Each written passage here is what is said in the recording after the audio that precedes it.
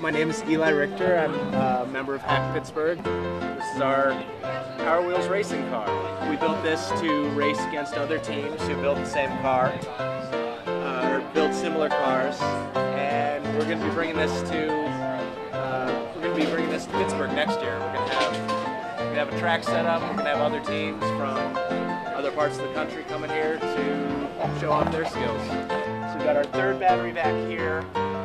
They feed power into the motor controller here. That feeds the power into the motor, which turns the sprocket, which turns the wheel. How fast is it go? Uh, we go at least 20 miles an hour